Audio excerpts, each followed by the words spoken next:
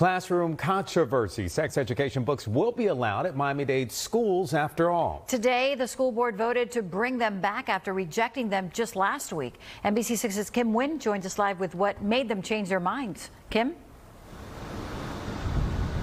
Yeah, that's right. And there has been just so much back and forth about this issue over the past few weeks. Like you guys mentioned today, the board um, voted to bring back those sex education books that they just rejected last week.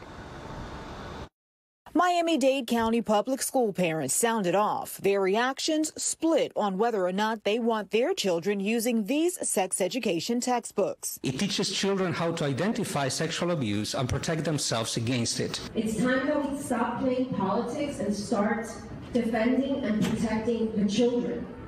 This is not okay. This is grooming. It's not politics.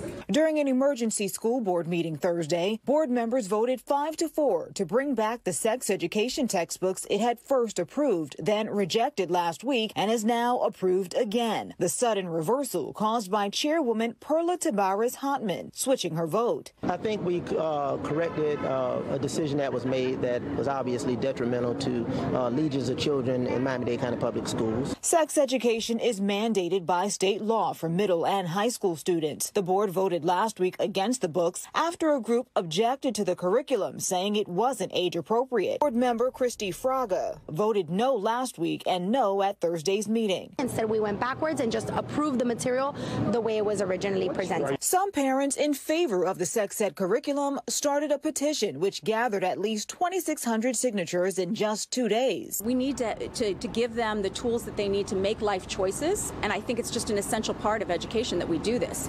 Um, the fact that it's even under debate is ridiculous, in my opinion, because it's it's something that even I, 40 years ago, going to a Catholic school, was taught. Other parents disagree. We, as parents, have a fundamental right to direct the upbringing and education of our children.